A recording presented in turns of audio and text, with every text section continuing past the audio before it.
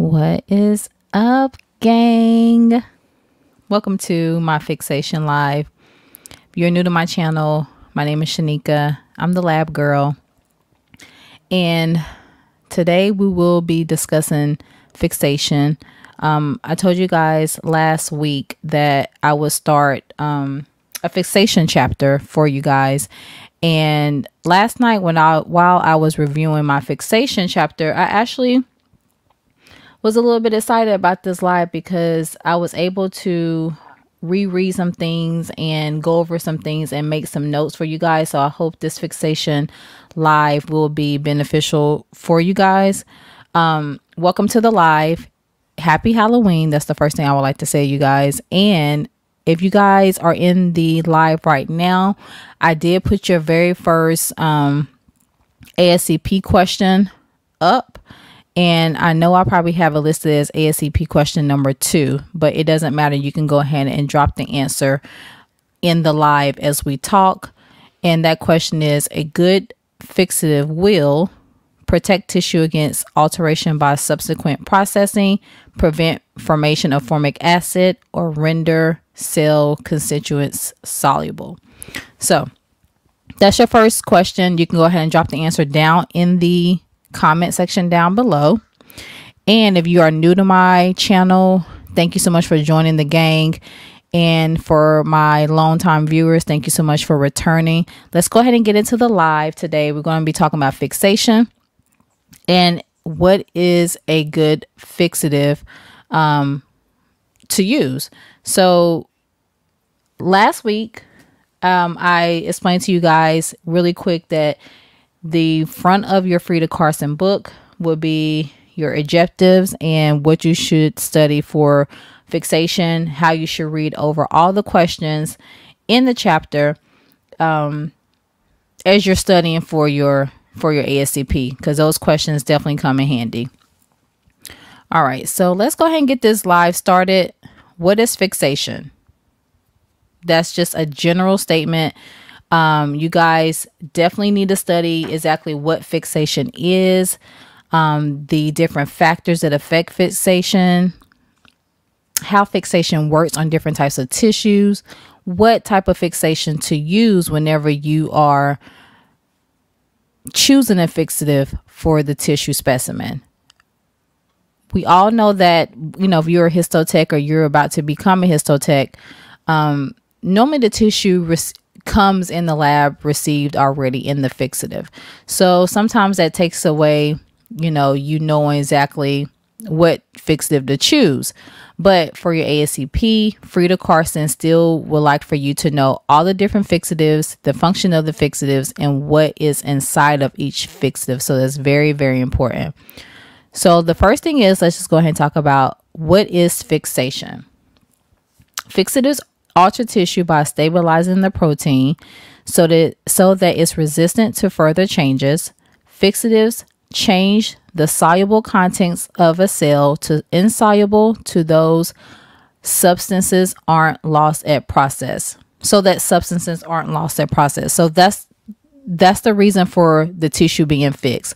So that way it can actually change certain things within that cell but by the time it makes it to the lab for you guys, none of the things are lost and the cell structure is still preserved. So that's very, very important.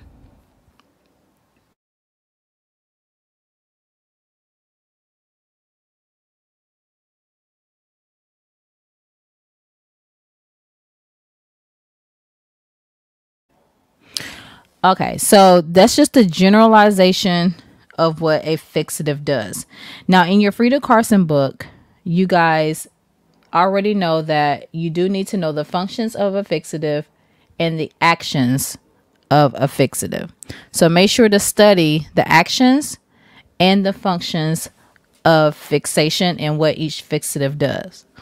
What I'm going to be helping you guys with is throughout this chapter, I'm just going to maybe give you some of my tips um, that I use to pass the ASCP as far as questions wise, as far as like what I've have written in my book, some things to help jog my memory whenever it came to remembering some things with fixation, which is very important because it's so much to retain. So if you're going to be making your own flashcards, I really suggest that you try to write down not everything because you won't be able to remember everything, but try to categorize certain things to where you don't try to categorize certain things to where it doesn't, you know, run together because by the time you get to special stains, you're going to have to list your special stains and what fixative you may have used for that special stain. So those two will end up going together. Okay, so let's go ahead and get into um, the study actions and functions of a fixative.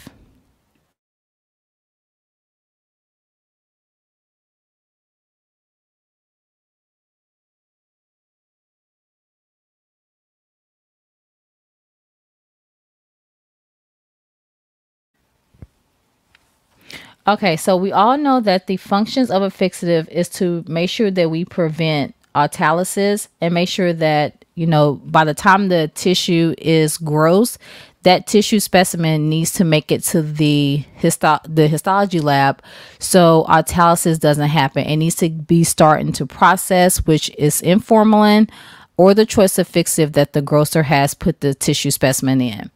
Um, welcome you guys to the chat. Whoever's watching, definitely go ahead and answer the question down below. I've listed your first ASCP question in the chat, and I see some of you guys have responded, and I'll definitely let you guys know the answer at the end of the of the live.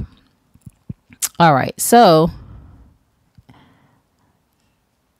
the different fixatives that we're going to be talking about today um, will be the first three main fixatives um, that you know we'll get into this chapter. But before we get into the fixatives, we need to make sure that we understand that whenever you're doing your categories, um, your whenever you're categorizing your fixatives, try not to think, try not to put things together to where it makes it more confusing.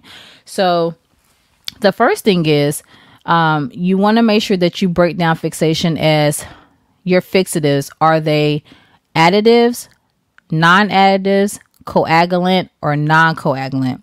Because whenever you're taking the ASCP uh, on the test, it will it will ask you is this a non-coagulative or is it coagulative? Is it non-additive or is it additive?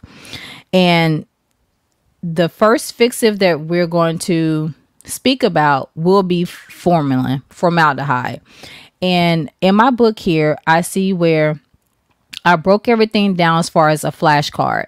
So with your flashcard, you want to make sure that you list a diagram or of your fixatives, additive, non-additives.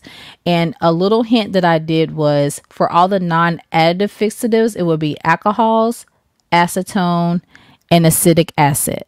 So the way that I remember that was non-additive and I remember all the A's.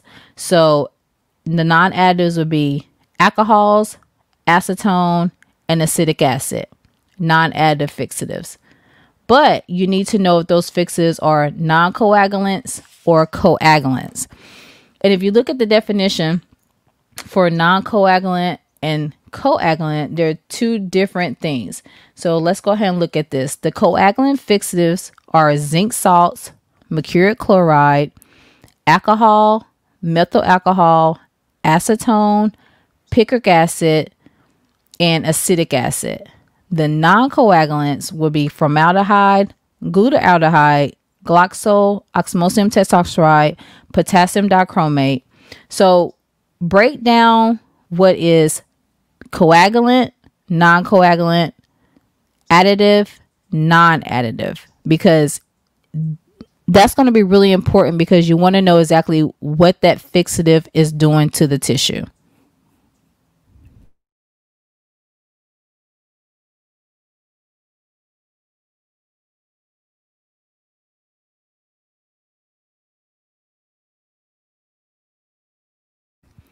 Okay, so if we look at the definition for an additive fixative, additive fixatives chemically link or add themselves onto the tissue and change it with this action. When a fixative molecule adds onto a tissue, the electrical charge at that site attachment may be changed. The common additive reagents are mercuric chloride, chromium trioxide. I'm probably even I'm probably saying that wrong. Chromium trioxide, picric acid, formaldehyde, glutaraldehyde, oxymosium testosterone, zinc salts, and chloride. Non-additive fixatives, predominantly organic compounds such as acetone and alcohols, act on tissue without chemically combining it.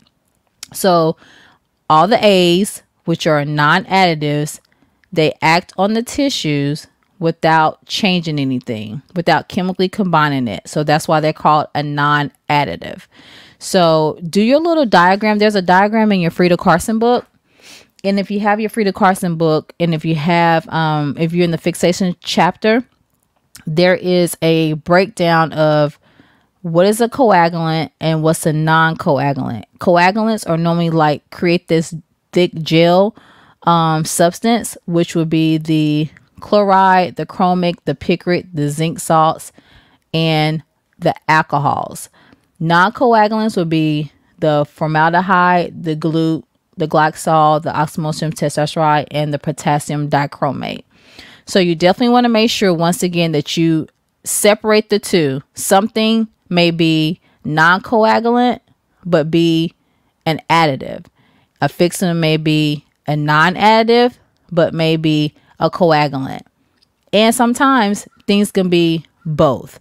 So definitely study that as far as your additives, non additives, non coagulants, and coagulants. All right, let's see here. Welcome to the live, um, you guys.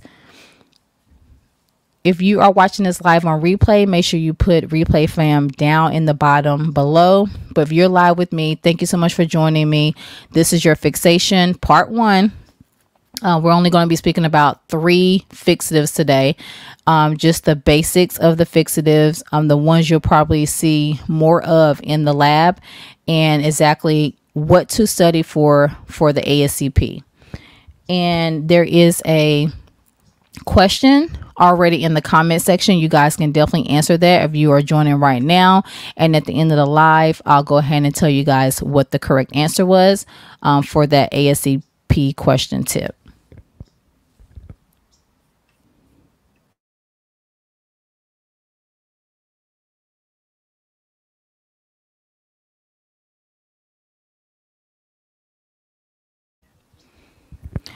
Okay, so all your factors affecting fixation, you definitely want to study those.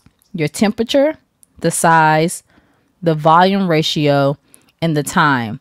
These are very important because all of these different factors will determine how your tissue looks at the end of processing and how your tissue will look at the end whenever it's done being stained and that pathologist actually sees that tissue for the first time underneath the microscope with the H&E. So these are things sometimes that you probably want to see as a histotech because this these things happen at the beginning after the biopsy. These things happen at grossing. So you can only really visually um you can only really visualize these things.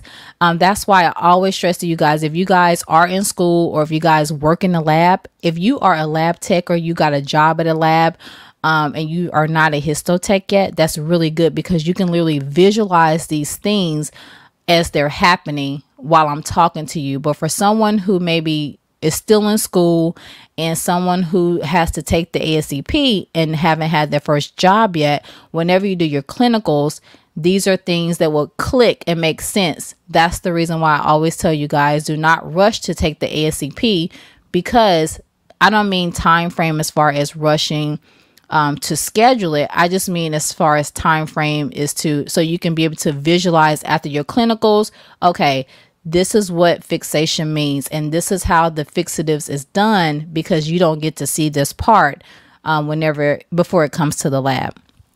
So these three things or these uh these three things definitely plays a major part in fixation. This will be on your test. Um, temperature, size, volume ratio, and time. And if you look at your pictures here, because these are like these are troubleshooting questions, and you'll see like where there may be an intestine missing, um, you know, the mucosa, maybe the goblet cells, um, there can be things missing on spec on the specimen, and you won't know it until the tissue is actually stained. So this actually happens at fixation. So if you get a troubleshooting question, and if it's a picture and you see like epithelial missing, or you see something that's probably not present, this is when it's really important for you to pay attention to the picture because you will only know that it's a fixation issue and not a processing issue.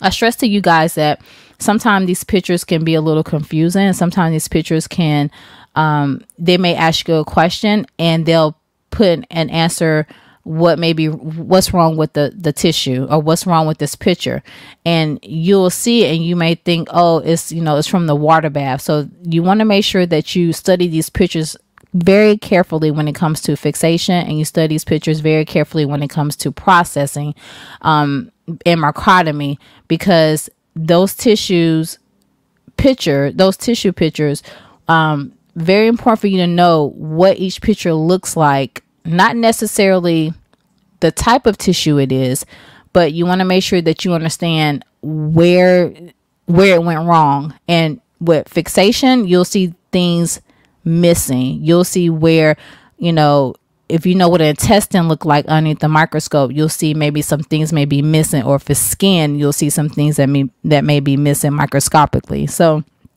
definitely study your fixation uh, pictures because those pictures will be on the ASCP.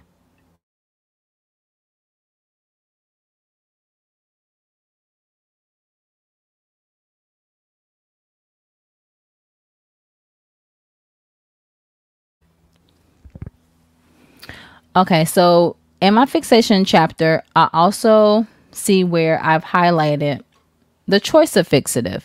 Now, you have factors affecting your fixation, but you also have the choice of fixative that the grosser chooses to use for fixation. So, if you look at certain things, they may come in the lab in different fixatives and some may not even need a fixative. Just say like a frozen section doesn't need a fixative. Um, but most of the tissue 90% of the time will come in formalin. And that's what you guys will see that you know that it comes in formalin. So definitely know um, the choice of fixatives and that's what we're about that's what we're about to get into right now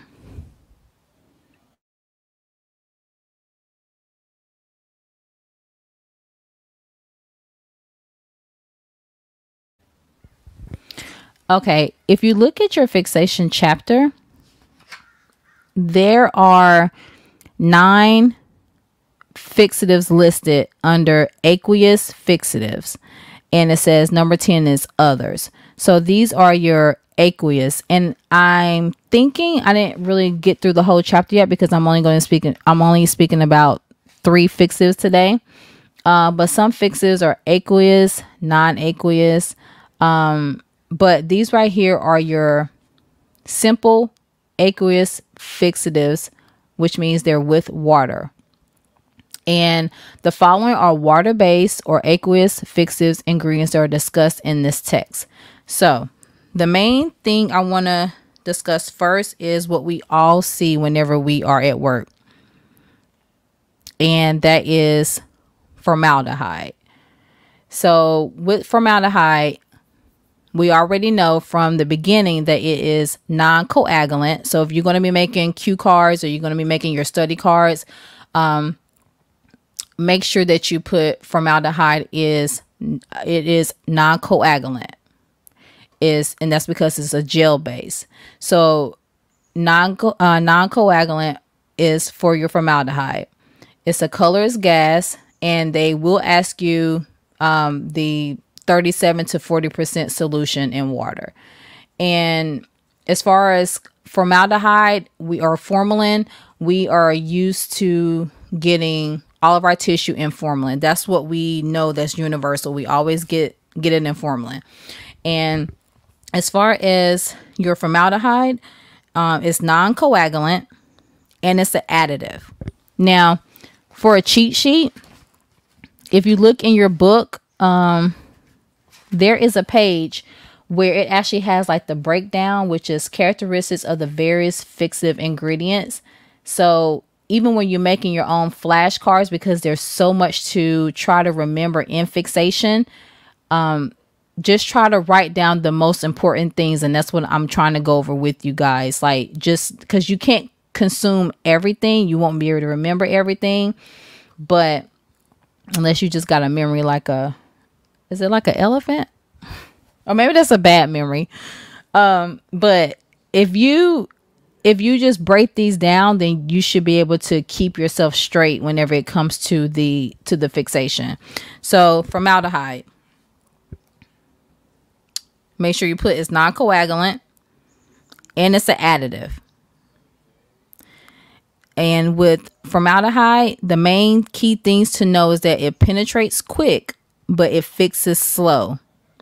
That's the great thing about fixing the tissue in formalin because it penetrates the tissue to render those cells to prevent autolysis. But if you do not get the tissue in the formalin at the time of grossing, then that's how putrefaction and autolysis can happen. It starts to decay because you waited too long to put it into the formalin, right?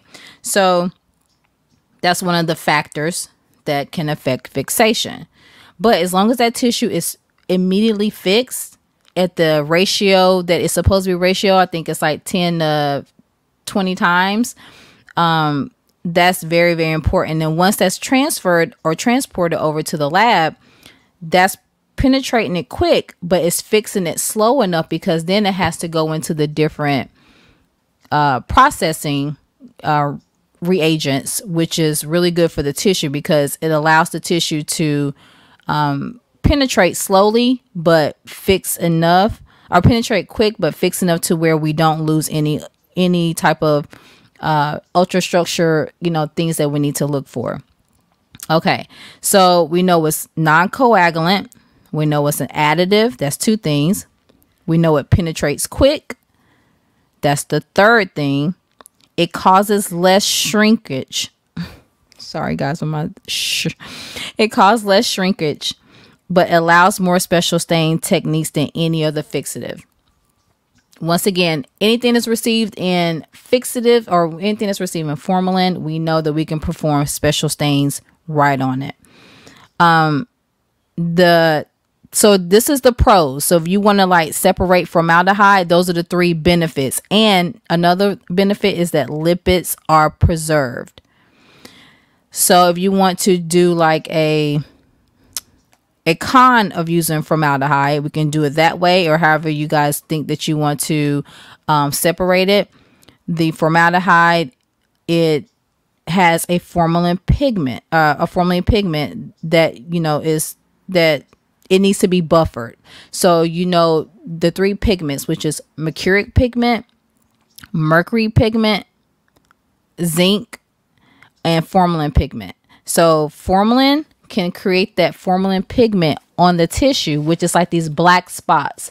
And if you have your Freida Carson book, let me see if I can find what the formalin pigment a tissue. Okay. So if you have a Freida, if you have the Freida Carson book, um, you should see a picture. Um, it says formalin pigment is seen in a blood-rich area of the section of a kidney. It's a brown microcrystalline pigment that tends to form in tissues when the pH of the formalin solution drops below 6. It is caused by a reaction between the heme part of the hemoglobin and the formic acid present in acidic formalin solutions. The pigment is also called black acid hematin. In some sections, formalin pigment may be confused with um, erythrocytic pigment, malarial pigment, and really melanin. But if you see like these black specks, then you want to make sure on your ASCP they will show that picture, and that is formalin pigment. So that's one of your pigments, and that can happen with formaldehyde. Another thing about formaldehyde is not a good fixation for carbohydrates. And you need to know how to prepare formaldehyde to make it formalin. So when it comes to studying the formaldehyde, I try to keep all the aldehydes together. So I try to do glutaraldehyde, glyoxal, and formaldehyde. Those are the three aldehydes that is in the fixation chapter. Welcome to the chat, um, gang. I did put a question in the comments uh, section below. You guys definitely go ahead and answer those, and I'll let you guys know the correct answer at the end of the live. Thank you so much for joining me. Right now, we're just talking about fixation. If you just joined, and we're talking about the first fixative, which is formaldehyde, formalin. That's the one you guys should be, you know, most aware about. That's the most common one that we use in the lab.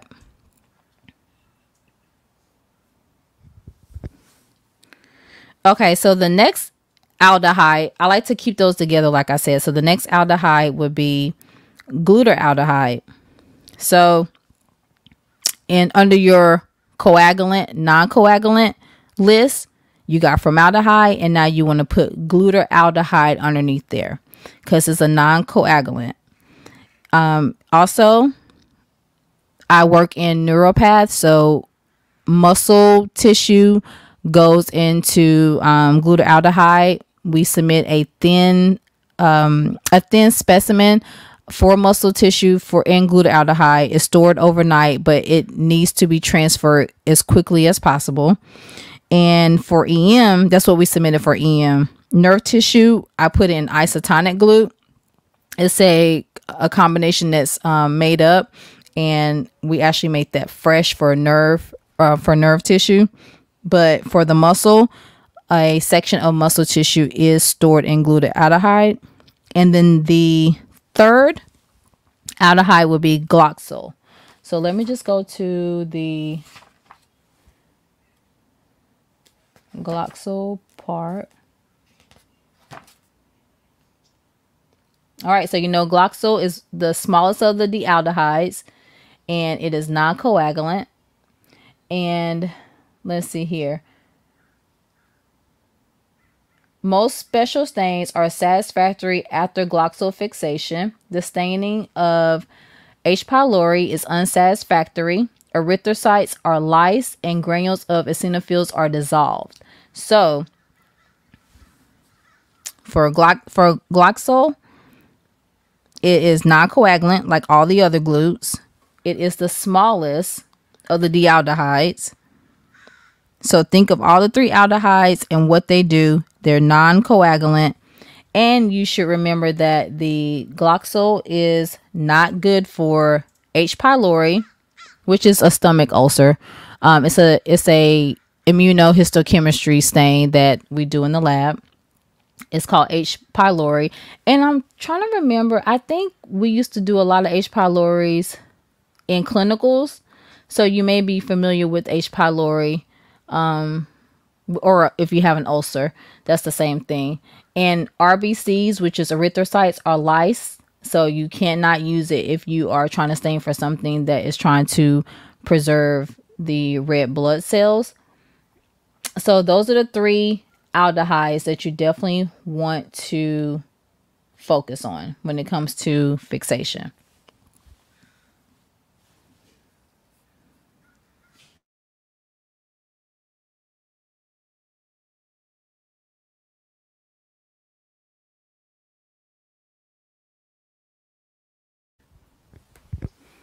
Okay, now let's go ahead and go to acidic acid.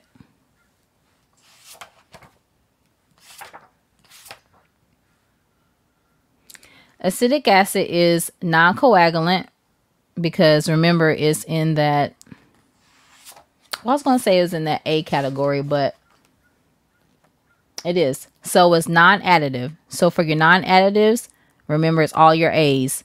Alcohol, acetone, and acetic acid. Knowing with acetone, things that are fixed, um, we've we fixed frozen sections with with acetone as well. Um, but once you figure out what you can fix with alcohol, acetone, and acetic acid, just know that they're non-additives. And also, they are coagulants. Or, no, I'm sorry. Text differ. Okay. So acetic acid non-coagulant. If I'm wrong, let me know. Because for some reason I got non-coagulant, but let me just read it.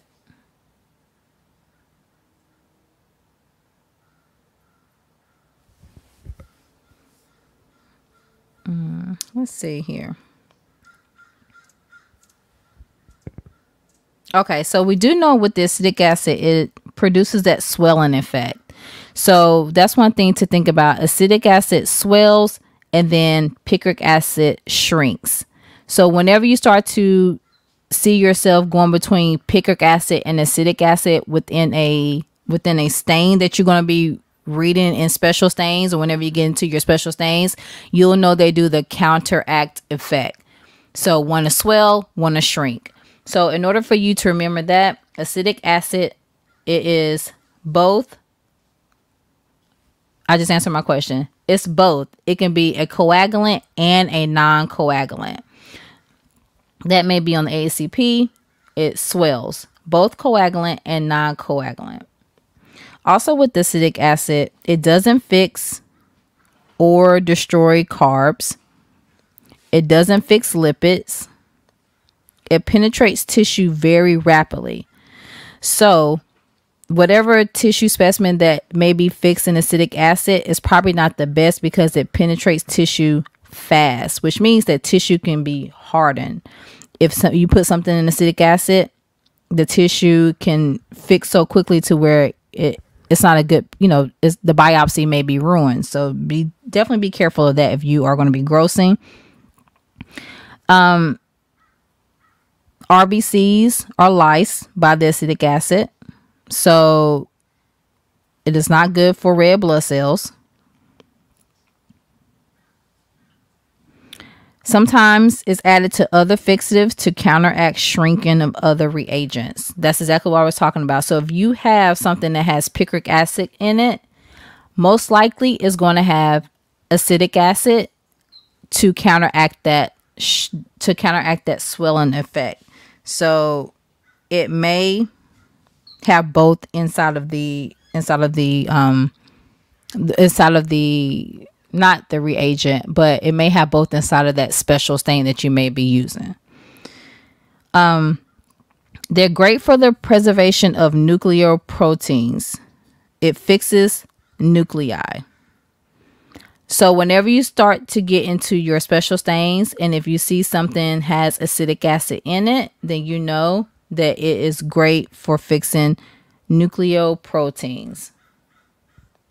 So from what I'm reading in the book is acetic acid does not fix or destroy carbs. It does not fix lipids. It penetrates very rapidly and leaves the tissue very soft. Okay, so I thought it would leave it hard since it penetrates it rapidly, but it leaves it very soft.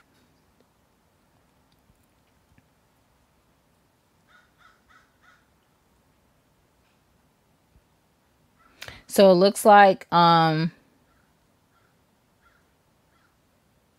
it's not used quite often to preserve anything but the nucleoproteins.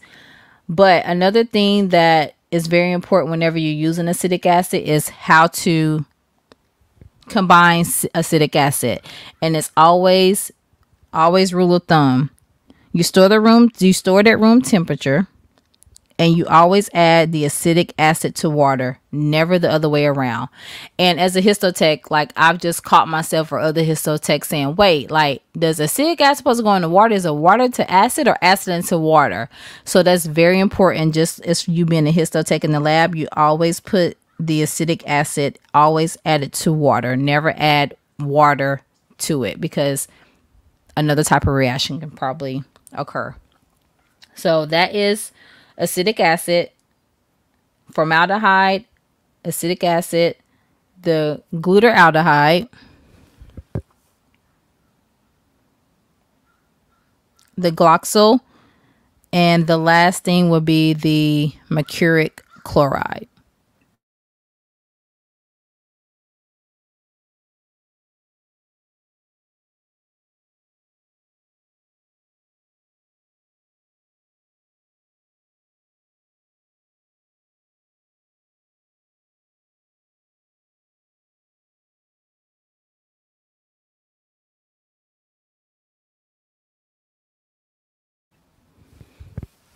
Okay, so with mercuric chloride, mercuric chloride is let's see what it is first before we get into what it's good for and what it's not good for. All right. Mercuric chloride is a coagulant. And it's an additive.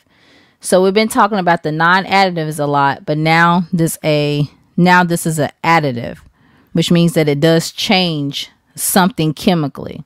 So it's going to be mercuric chloride. It's a coagulant and it is an additive.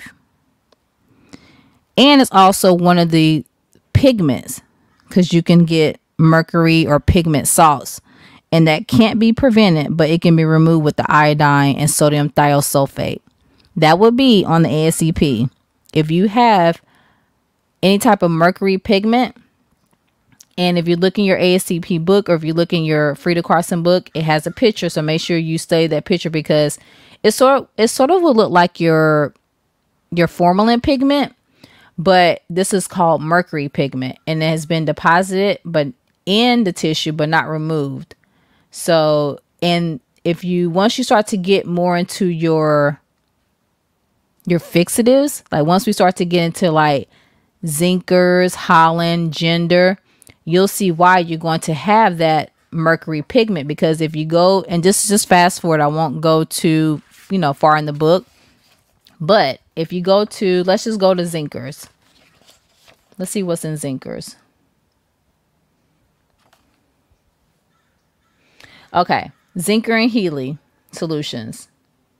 These are considered together because the stock solution is the same and the solution differs only in the addition of acetic acid to one and the formaldehyde to the other. Okay, so I'm giving you major key because you're going to get mercury pigment. And the reason why you're going to get it because once you get to if someone is fixing something in Zenker's, then you know you need to wash the tissue because in Zenker's and in Helly, mercuric chloride is present. And then if you look at your Zenker's working solution, they add acetic acid, but that's glacial acetic acid. So the difference is with Zinker is going to be acetic acid, uh, glacial, glacial acetic acid, and then Helly is going to be formaldehyde.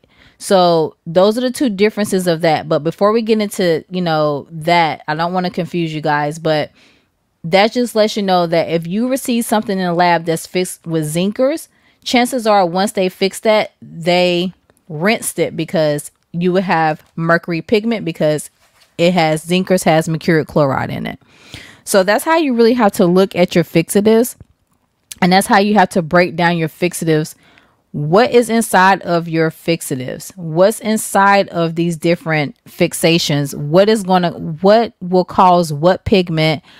how it will how will it affect the tissue so just by doing these few um, fixatives then you, you sort of get a range of like okay like what i need to look for so with mercuric chloride let's just go ahead and finish mercuric chloride we know it's best for bone marrow so that's that's one thing it's going to fix it's best for bone marrow tissue it's a coagulant and it's an additive. You can also get mercury pigment. Mercuric chloride penetrates pore, and also there can be shrinkage. I'm sorry, guys. I don't know what's going on with my SHs, but but um, that's definitely the main things when it comes to if you're going to be using mercury chloride or mercuric chloride to fix anything. Just know that the pigment, just like the formalin pigment. So you got the mercury pigment we talked about, and we got the formalin pigment that we talked about. Those are the two pigments. You need to know those two pigments because they will ask you those two pigments, and they will ask you how to remove the pigment. Okay, so make sure you read that. And let's see here. In the next live, we'll get into um, osmium tetroxide, picric acid, potassium dichromate, zinc salts. We'll get into those. And also we'll get into the other fixative ingredients. So that's the reason why if you go back, if you're in your in your um, Freida book, it says it lists nine pigments or it lists nine um, fixatives, but it says 10 others. So we'll be getting to the others within the next few lives. I know we only went over just formaldehyde, but I do want to let you guys know that it is definitely up to you to make sure that you study um, the other types of formalin. So they got 10% aqueous formalin, 10% formalin saline, calcium formalin. This solution is recommended especially for the fixation and preservation of phospholipids in tissue. I know that's on the ASCP because I have a circle highlighted asterisk. I got everything pointing that out that it is on the tissue or that it's on the ASCP. So calcium formalin is used to preserve phospholipids in tissue. Formalin ammon ammonium bromide is on the ASCP as well. Is used to uh, for um, Cajal astrocytes procedure. Um, this solution is acidic and it lyses red blood cells. So probably within your probably within your your list of fixates of fixatives, there's several different fixatives that that you and I just went over that says it lyses red blood cells. Probably like two to three. So that's another one. That's another one. Formalin ammonium bromide. It's used for a Cajal astrocyte procedure. It lyses red blood cells and causes nuclei to give a direct positive Schiff reaction due to the Feulgen hydrolysis during fixation. And Feulgen is like your PAS. We'll get into that once we start doing the stains.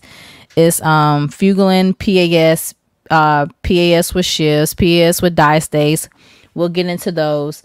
Um, but definitely study those two. Make a flashcard on 10% neutralized formalin. Uh, let me see, 10% neutral buffered formalin, which is what we use. This solution is mostly widely used for routine formalin fixation.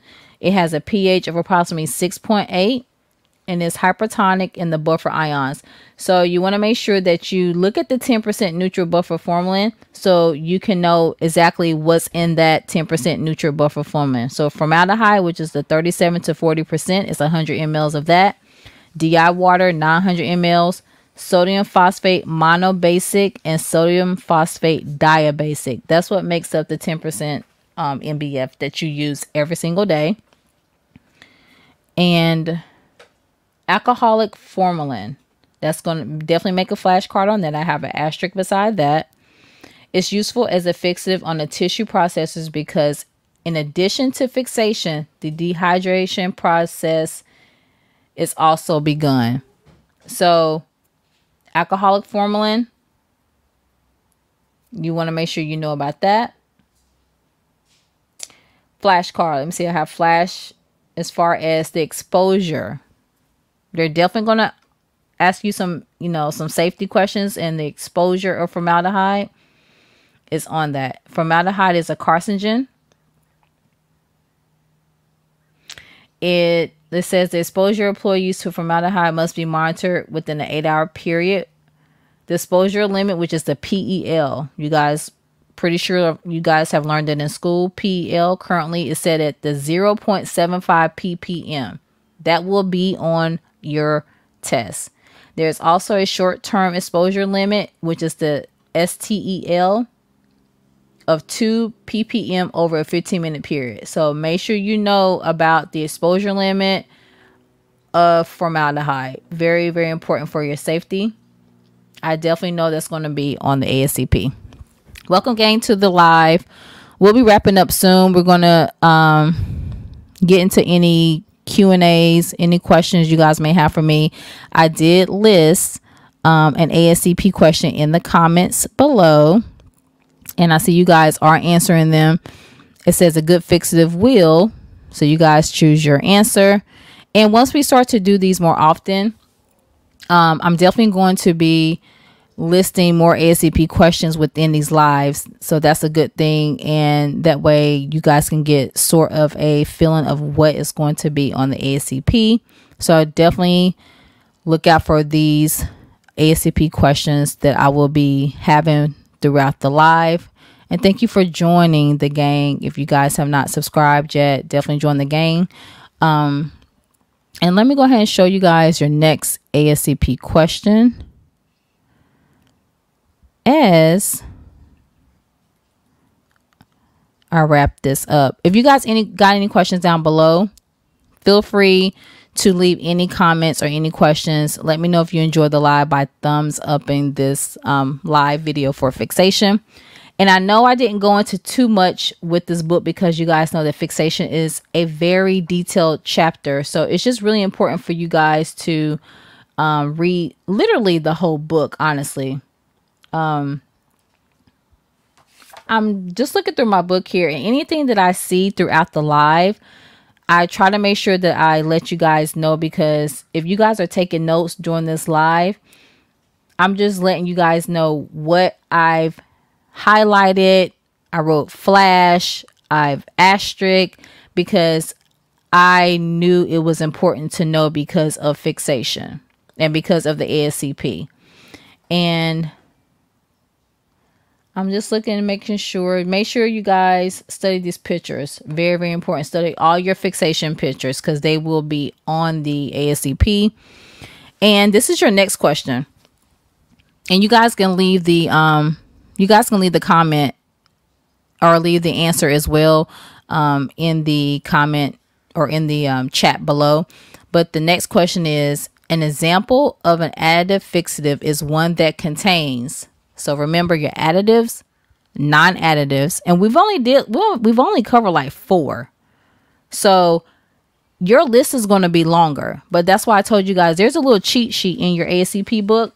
And what I'll do is I'll take a picture um of the what the sheet looks like and then I'll post it on the community tab. That way you guys can see exactly what I'm speaking about. If you guys don't know exactly what cheat sheet I'm talking about, is writing your book to where it breaks things down for you and you may be able to just read off of that. But if you're like me, you want to make your own cards and something that's going to give you a little bit more, you know, like some hints to where you know what goes with what. So remember, an example of additive fixative is one that contains, remember, all of your A's are additive or non additives are all of your A's. See, even I got confused. So let me get my let me get my study book, which is the daughter. Let me get that book. Just so I can make sure I got the right answer. And if you guys know the answer, definitely leave it down in the comment section below.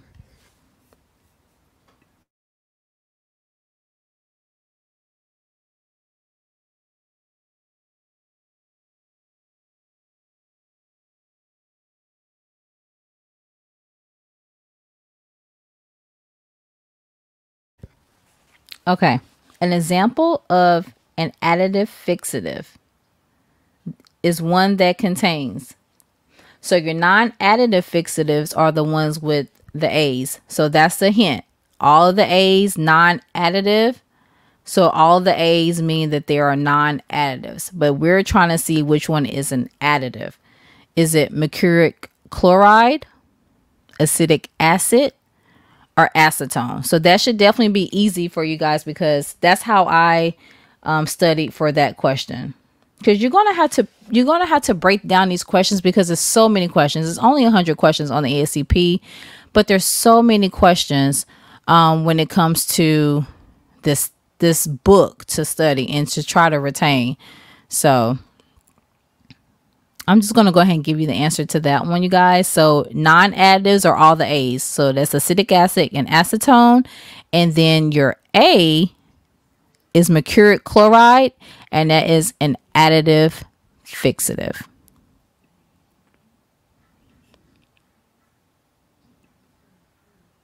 All right, so just really quick for lab talk, um, I just want to tell you guys that this was just only the beginning of fixation, like I just said a couple minutes ago, the only the beginning of fixation. Um, last night I really uh, try to figure out a format for you guys. If you guys have any uh, suggestions on maybe a different format or if you're enjoying my format, how I'm doing this, because once again, you guys may be in school or you guys may be studying for the ASCP or you can already be a histotech. So once again, that's why I always say all histotechs are made different. So the way I study may not be the way that you study. And the way you retain things is definitely not the way that I retain things. But I just try to make sure that I show you guys some type of tips or some type of things that will make something click for you because while you sitting there taking the ASCP, you know how it is you get nervous and then you really have to start focusing. And then once you once it kicks in that hey you know i really need to pass this test my life depends on it right now. Um just trying to trigger little things little keywords for you definitely helped me out. So as i'm going through this book i'll let you guys know what i've highlighted what you know maybe that you can be looking at to study because you may have something totally different down because I get a lot of questions on you know what do I study is so much. How do I know what to study? How much to study? So that's why I try to break down the ASCP book or the Freida Carson book to where you don't literally have to sit there and just cram everything into your brain and try to remember every single thing. But as long as you can remember the basic things that I know that would be on the ASCP and the things that stick out and the things that are the most important, like the pictures, what's inside of a fixation, what's inside of a special stain reagent, what's inside of a what's inside of special stains, what's inside of a fix a fixative, what each component may do, what does each reagent stain. Those are the basic key things. It's not really what type of tissue is this because you know, the easiest tissue I remember is like lung or breast for the adipose tissue, or maybe intestines or maybe skin. But as a new student or uh, you know someone who's studying for their test, it's just you you don't want to make sure that you remember each control because it normally the control says kidney is a good control for this, kidney is a good control for this. So that's not really the biggest thing that you need to remember. You need to remember what's what's that reagent what does that reagent stain? What are the technical notes? What are the troubleshooting things that you need to know for that? Because when we whenever we get in the lab, things may be automated and you're like, man, I just learned all that shit for nothing, but you need it.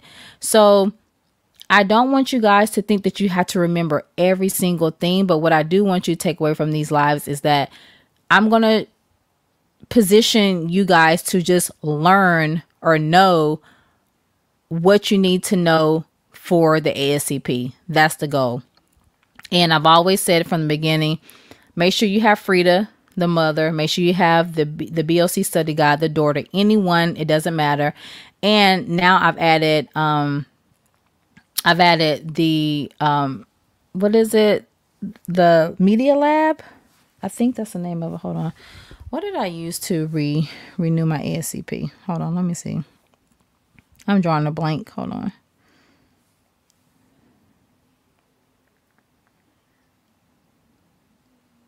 Lab CE. I swear by Lab CE.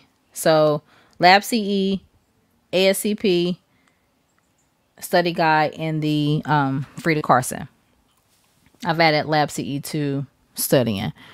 Um, making your own flashcards, that's definitely another thing. Let me check the comments real quick. Yep. Thank you, Elizabeth. Lab CE. Thank you. Um, let's see here. You guys actually, you know, you know what's funny? I'm gonna check you because I told you two different questions. So for the first question uh, that you guys answered in the chat, A good fixative will protect tissue against alteration by subsequent processing.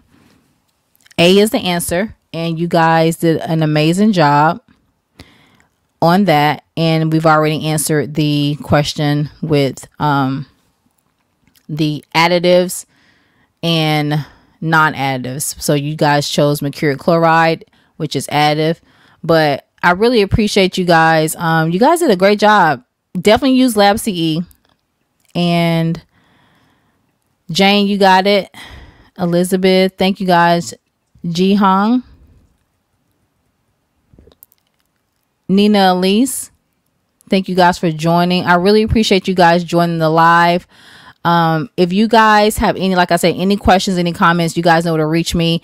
You can make a um, a comment or a post on any one of my videos, and also too, you guys can reach me on social media um, as well. I have an Instagram, um, lipstick bandit underscore lipstick underscore bandit.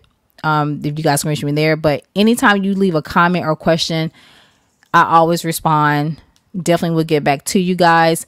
And before we go, as far as lab talk, I just want to let you know to make sure you have your post notifications turned on because now I'm getting more familiar with the community posts and I know that I've been quizzing you guys, which you guys have done so great with answering these questions. Let me just go over these real quick because you guys have been participating in these and I'm super happy because you guys are doing a great job. So let me just go to the one question I put. Uh, pop quiz. You guys remember this two days ago. What color does the LFB stain myelin? And my choices was gray, blue, or violet. And you guys, 75% of you guys chose blue, which is correct, which is LFB, which is Luxol-Fast Blue. Now, there is a Luxol-Fast Blue, I think with um, Cresyl Echt Violet, which was staying the violet. But I didn't put that. I just put LFB, which is Luxol-Fast Blue for the myelin. And you guys were correct. 75% of you guys put myelin, or 75% of you guys put blue. So I'm so proud of you guys. And I'm going to be um, posting more of these community posts and more of these pop quizzes and you know just to get you guys ready for the ASCP, ready for your first job, anything that we need to get you ready for. And yep, Elizabeth, you got it. It's blue. You got it, girl. You guys are doing awesome. So continue to study the um, fixation chapter because I will be back next week and that way um I will be back next week. That way we can continue more fixatives. Um, is there any other platform you do lives on? Because I want to join. You know what? This is the only platform I do lives on. But uh, if you guys just um, give me more time, because the StreamYard here, you can actually join me, um, like call in. And once I get the hang of StreamYard, because it's like, it looks basic, but um, I try to I need to juggle my time, especially with work and then, you know, creating YouTube content for you guys. So I do need to read more up, you know, do watch more things about StreamYard. But you would be able to join um this live um as far as like you guys can always call in and you don't need a actual YouTube like channel because I can actually see you right now. So you're doing I mean as far as like you being joined right now on my stream yard, that's actually perfect because you're actually live with me. Um, but in the next like few weeks or you know next couple of months, I will learn how to join you guys. So you guys, I'll drop a link, and then that way you guys can actually join me and ask me questions live on the chat and we can just talk about your day. We can talk about histology, any questions you got other than typing everything in because I know they can get annoying. Um, but if you guys just give me a few more weeks, that way I can get more comfortable with StreamYard. And um, that way I will know how to drop a link and then invite you guys to join the live with me and we can just chat it up and get more questions. That way we can talk about career, jobs, any other questions. I can actually open it up for more questions other than, you know, just straight you know, me talking. So definitely will be working on that. I really appreciate you guys' patience. So I think we're done. You guys got any other questions? But just join me here. Turn on your post notifications bell. If you are subscribed to me, definitely subscribe to me. You're welcome. Um, definitely subscribe to my channel. You do not need a YouTube to actually subscribe to me. Um, well you don't need an actual youtube channel but you do need to be signed into of course google but um subscribe to my channel turn on your post notifications bell because that way you guys know when I drop another video. That way you guys know when I'm about to go live.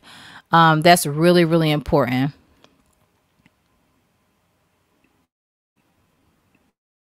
Hold on, let me plug up my charger so my computer won't die on the live. One moment, Elizabeth, and I can answer your question.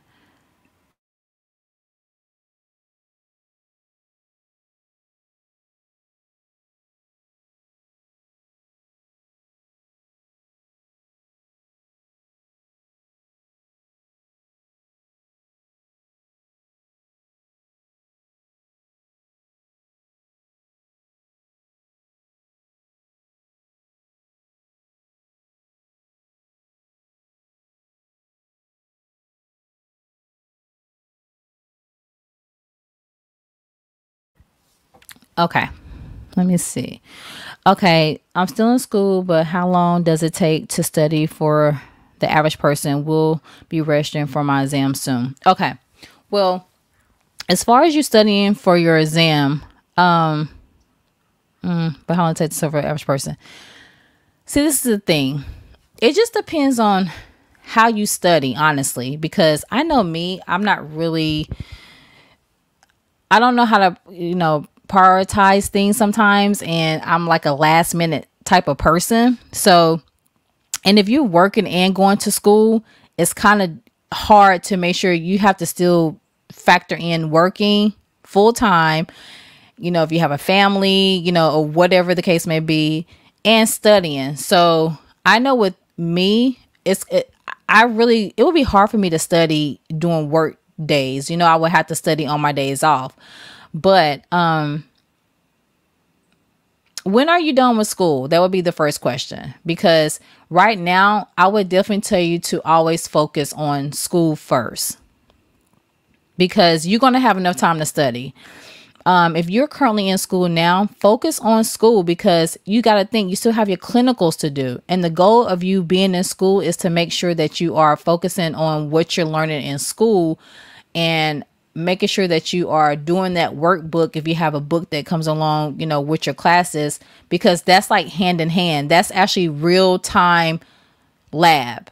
So take advantage of you being in the lab, take advantage of you studying for the test, maybe for school. Um, okay, so you finish your clinicals at the end of this week. Okay, so once you finish your clinicals, then you're done, done, is what I'm assuming and then you can start studying for the okay so it is what about to be november tomorrow. Okay so if you're done with your clinicals at the end of the week it would be the perfect time to go ahead and start studying then. Um because you're done with your clinicals. So really all it is now is just to focus on studying for the ascp what i definitely suggest and what i tell everyone i know and what i've done for myself because the first time i did not pass my my my exam and that's because I felt rushed. And when you're in a class full of everyone who's about to take their exam and they're about to take it like the, you know, in a, in like 20 days and you're like, damn, like, did you even study? Um, it's, it's a lot of pressure because you have a lot of pressure on you. So I would definitely tell you to go ahead and start studying. And that's good you made it to this fixation part because I would tell you to go ahead and start with fixation. Spend as much time as you can on fixation, period. Fixation is like the beginning. Fixation, I'm always with these analogies. Fix, fixation is like, you know, peanut butter and jelly. It's the bread, right? it is the specimen. So st- st- you're you're right you're right on target by being here in this fixation um live. So stay on fixation. Start studying fixation I need for you to not rush through fixation until you're comfortable. I know I'm so retarded. Until you're comfortable, um, until you're comfortable going to, you know, processing. But it's one of those things to where do not rush anything and you have so much time. So just say for instance, once you get to let's see here. Once you feel comfortable knowing what what each fixative does just by just by key points, not by all memory, but just by key points, that's when you'll feel comfortable knowing, okay, I can go ahead and move to processing. And then once it's time for you to almost take your test, you can just go back and do fixation as a refresher. That's what I always, always suggest. So go ahead and start on fixation and study for your test you'll be registering for your exam. Do not register for your exam just yet. Wait till you've actually gotten through most of your book and then register. There really is no rush because, and I mean that because if you schedule a test date, just say you schedule a test date January the 1st and it's November the 1st, that may be enough time. But just say you schedule your test December the 1st and it's only November the 1st. That gives you 30 days. You can't possibly be ready to take the ASCP in 30 days. If you are, you are superwoman and you only have one thing on your list to do. so wait till you feel comfortable and you've gotten at least halfway through your book and you like, okay, it is December. I'm already at special stains. Now I can schedule for my test for January because all I really do is just, you know, I just need to get through special stains and I should be good. So take your time, but you know, you don't have to take too long, but you could take long enough. I hear a lot of people say three months. Yeah, that's definitely what I would suggest because you don't want to rush through it. Three months is actually really good. Uh, do you suggest the Bancroft book to study special stains? Honestly, I don't even know what the Bancroft book looked like. Let me get back to you on that because, well, actually, you know what? Let me see what the Bancroft book is because I only have Freida. Um, I'm not really against any book because I'm pretty sure Bancroft histology. I'm pretty sure they all will teach you special stains. Bancroft histology techniques. Let me see what it looks like.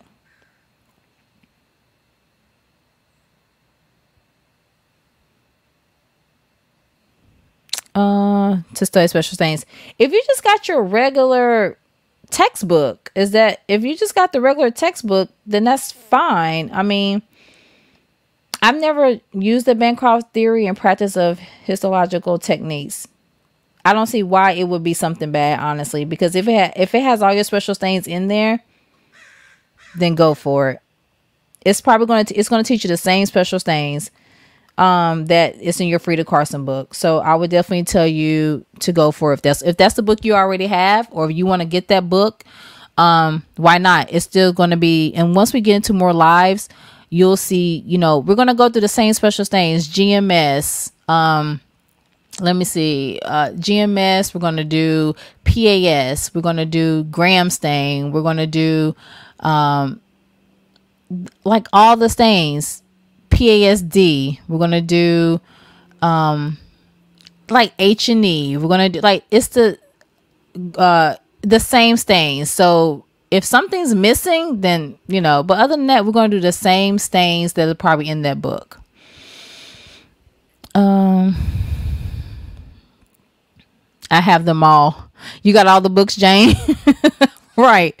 That's it gets kind of crazy because you you don't want to like have a you. It's like you have like all these books in front of you, and you're like, what the hell, right? You just it, you get you, you're just gonna just be sitting there with a thousand books. So that's the reason why don't even don't even look at those books just yet and, until you know you're ready to get to special stains because don't forget once you get to those books then you're to have to get to the the questions that go with those stains. Because you're learning the stains but what we tend to forget is that we can learn the stains all day long but i mean we need to know that it's going to be now we need to now we need to try to um get the questions right for the stains so that's why I'm trying to go hand in hand with if we're on fixation, we're only going to focus on fixation and we're only going to focus on fixative questions. That's it. We're not going to think about processing just yet. We're not going to think about special stains just yet. Nothing. Um, okay, let me see. Elizabeth says, I'm done December the 20th. Congratulations. Super, super excited for you. Um, I finished my clinicals at the end of the week, December 20th. Like, for example, Gendre fixer has citric acid in it, which swells the cell, correct? Oh, you know what? Gendre Hollande. If I. Let me see, Elizabeth, because you probably know better than me. Because, let me see. Because I, I definitely don't want to just be telling you guys something wrong. Because I still have to look at stuff. Oh, the Zenker. Oh, I think Gendre and Hollande is the one that goes together. Let me see. Let's see if I can find it. Oh, you know what? Real quick. I know I'm going over. Real quick. Um, if you look in your histology book, remember I was talking about the the three pigments, the formalin pigment, which is going to be on your on your um, ASCP. It'll tell you removal of for, uh, fixation pigments. So it actually has a section dedicated to um, how you remove the pigments. So definitely look at that. Let me see about the um the Gendre. Or it's so weird because these words and it's like I think it's called Gendre. Um, let me see. Zenker's, Orth, Zamboni, Bouin, B5. Okay. Bouin, Gendre. Yep. Okay, so the Gendre has glacial acetic acid and let me see. Because Gendre solution contains formaldehyde, all regulations govern from applicable is born. Picric acid should be removed. Let me see about the Gendre. Hollande. Okay, so for Hollande, okay, so if you look at Hollande, is Hollande has picric acid and Hollande um, Hollande has acidic acid. So that's that's an example of the shrink and swell to counteract each other. So Hollande solution has copper acetate, picric acid, formaldehyde, acetic acid, and um, distilled water. So that's that's an example. Uh, acetic acid, for example, Gendre has acetic acid which swells the cells. Yep, that's glacial acetic acid. Uh, I think that's pretty much the same thing. Let me look at the definition. But I know with Hollande, if you look at Gendre and Hollande, they're pretty much are the same. They go hand in hand. Um, the only difference is that oh yeah, I see it. Gendre, saturated picric acid, and then glacial acetic acid. Yep. So they're going to do the counteracting. So that's definitely um, a good question. Was I just confusing? I'm sorry. Let me go to glacial acetic acid. The good thing is too, if you guys got your book, you can look in the back for the definitions. So you can um, find the definition to certain things. So definitely use that. But Gendre Hollande is definitely an example of that. All right, Jane. So definitely you don't want to miss a thing.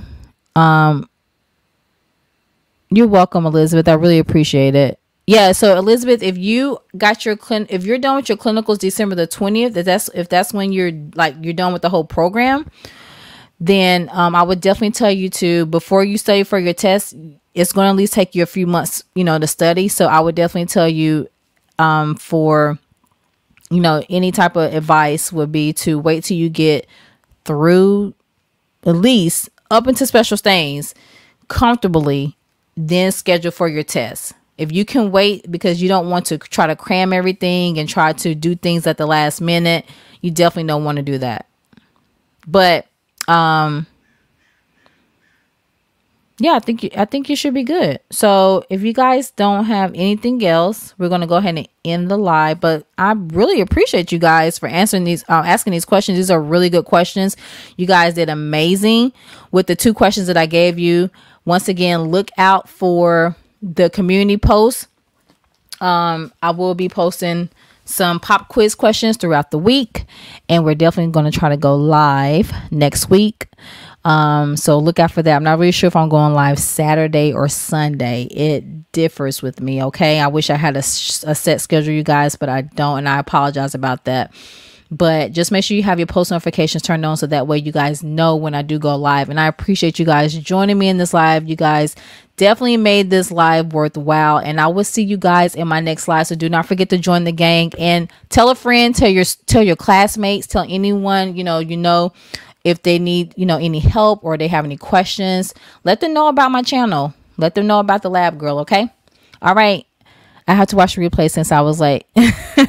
yeah, I know. I'm so I, I know I'm so last minute too. So yeah, definitely catch it on the replay, okay? And then, like I said, share this live with any of your classmates if you guys, you know, know anyone who needs help as well.